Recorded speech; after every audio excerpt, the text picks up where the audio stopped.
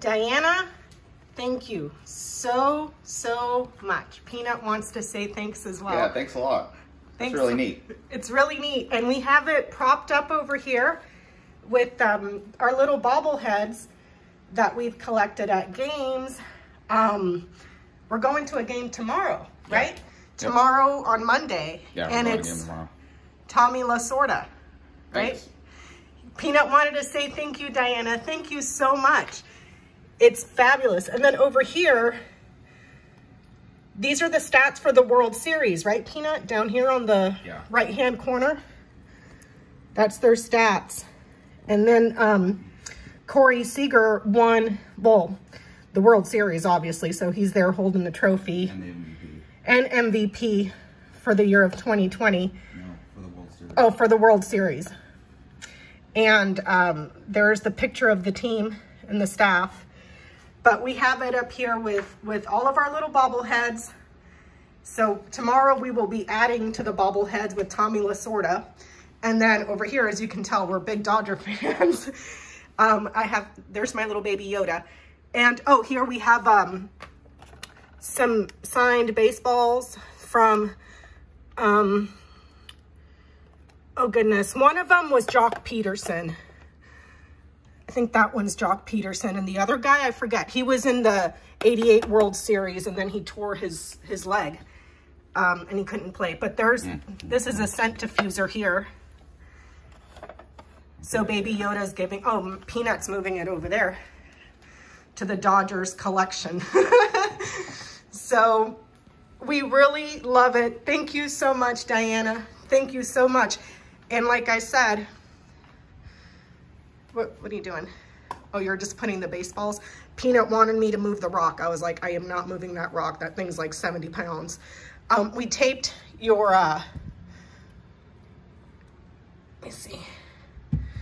We taped your, your gift here to the back so that we always know um, where it, where it came from. But we are just absolutely delighted. Super, super delighted. I still need to go outside and hang up my new Dodger flags because ours is just beat up. But thank you so much. And um, I had to move this stuff. So now I need to figure out where to put this. Oh, Diana, let me show you. And Susan and Sunflower and everybody else. Um, I started some seeds yesterday. I have all this is spinach then I did a bunch of green onions in here, so I'm waiting for them to sprout, and then I have to turn on the little light here in my little seed starter laboratory thing I have going on here. And then I moved a bunch of stuff outside. Um, that's where I keep all of my seeds and stuff.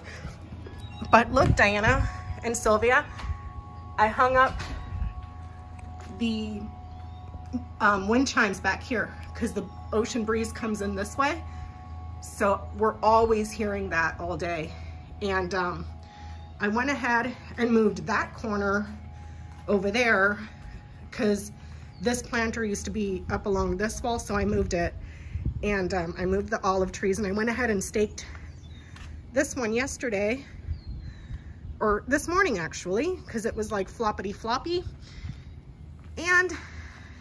I bought a hummingbird feeder and I've just been sitting out here watching the hummingbirds all day long coming in here to get their food. So I've really been enjoying that. And then here's that thing I made. And my acorn squash sprouted. So hopefully it, it does well and grows. Um, my artichokes are over here but I, those take a while. They take like two weeks or so to, to sprout. So I'm hoping this little guy does well. Um, and I try to plant him further away so he's got all that room to sprawl out in. And then the artichokes in there.